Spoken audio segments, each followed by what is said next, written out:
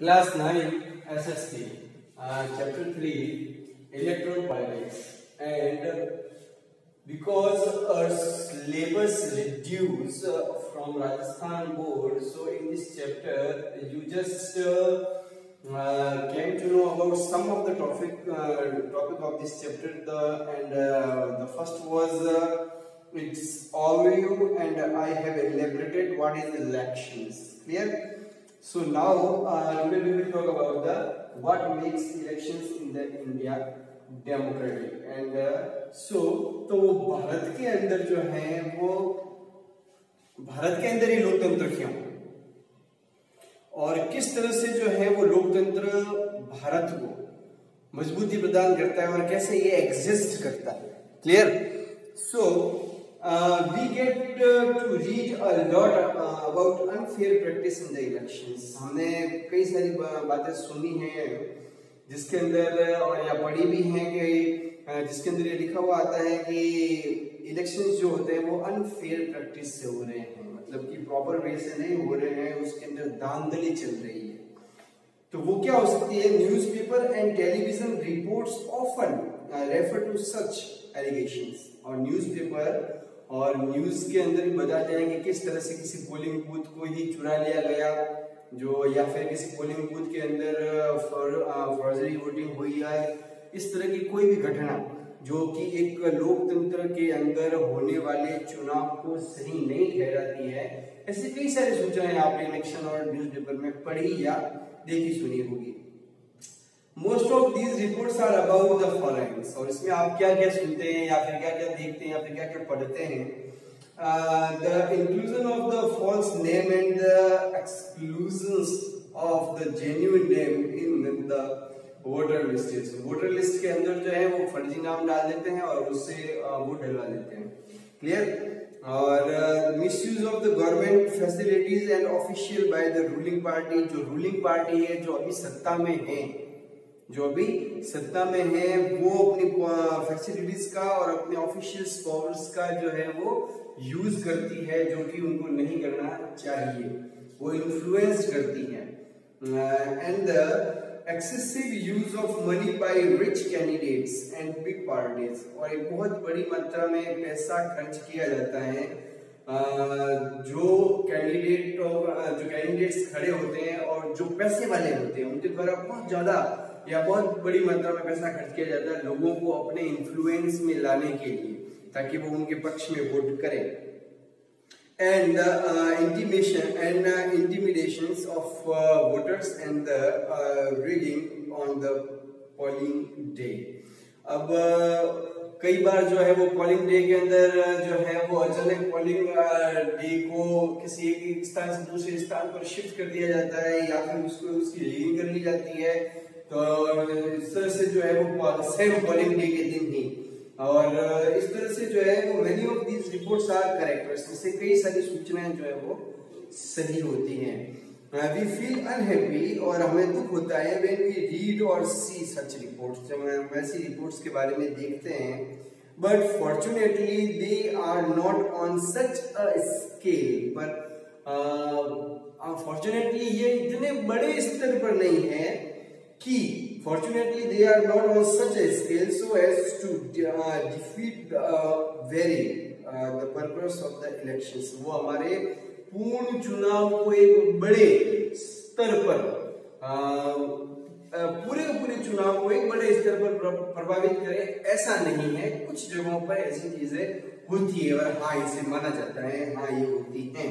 पर इतने बड़े स्तर पर नहीं कि पूरे इलेक्शंस जो हुए हैं वो वो भारतीय चुनाव पद्धति को ही खतरे में डालती है इतने बड़े स्तर पर नहीं होता।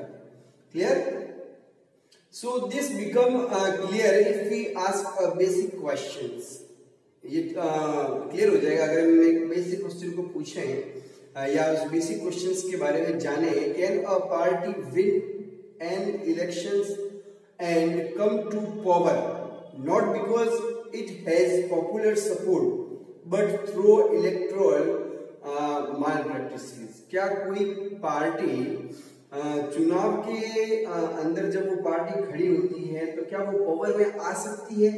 परंतु उसने कंडीशन क्या रखी है? Because it has popular support अगर उसके पास पॉपुलर सपोर्ट नहीं है।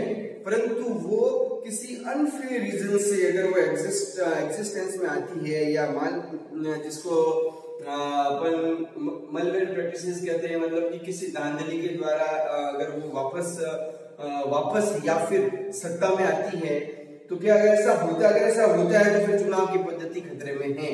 और अगर ऐसा नहीं होता है तो इसका मतलब चुनाव की पद्धति अपने स्तर पर है। This is a big question ये अपने आप एक बहुत बड़ा महत्वपूर्ण और विशाल क्वेश्चन है। Let's carefully examine various aspects of this question और इस एक क्वेश्चन जो पूछा गया है, उस एक क्वेश्चन के अंदर ही किसी भी लोकतंत्र के पूरी चुनाव पद्धति के बारे में प्रश्न चिन्ह खड़ा हो जाता है कि क्या वाकई में चुनाव फेयरली हो रहे हैं? क्या वाकई में चुनाव इन्फ्लुएंस तो नहीं है? क्या वाकई में चुने जाने वाले कैंडिडेट्स जो चुने गए हैं, उन्होंने फेयरली इलेक्शन को लड़ा है, उन्होंने फेयरली जीत हासिल की है। तो इस तरह से कई सारे क्वेश्चन होते हैं जो दिमाग में आते हैं और इन सब के आंसर जानने के बाद ही आप ये समझ पाएँगे कि लोकतंत्र भारत में एग्जिस्ट कैसे और क्यों करता है। क्लियर अब, इसमें से सबसे पहला एक पॉइंट आता है कि इंडिपेंडेंट इलेक्शंस कमीशन जो चुनाव करवाना सरकार की ज़िम्मेदारी अगर है तो सीधी सी बात है, सरकार अपने पक्ष में चुनाव करवाएगी।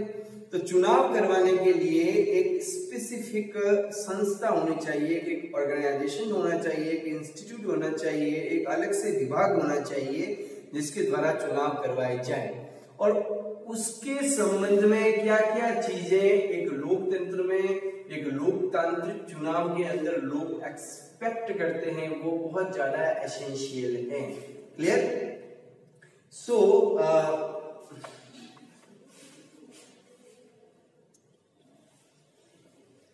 One uh, simple way of checking whether elections are fair or not is to look at who conduct the election. एक सीधा सादा तरीका है अगर आपको ये जानना है चुनाव फेयरली हो रहे हैं फेयर हो रहे हैं या नहीं हो रहे सही तरीके से हो रहे हैं या नहीं हो रहे सीधा तरीका।